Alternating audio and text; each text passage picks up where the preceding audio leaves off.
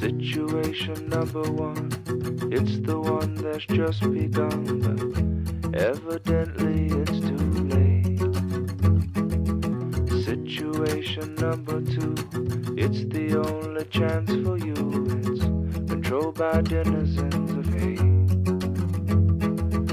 Situation number three, it's the one that no one sees, it's all too often dismissed as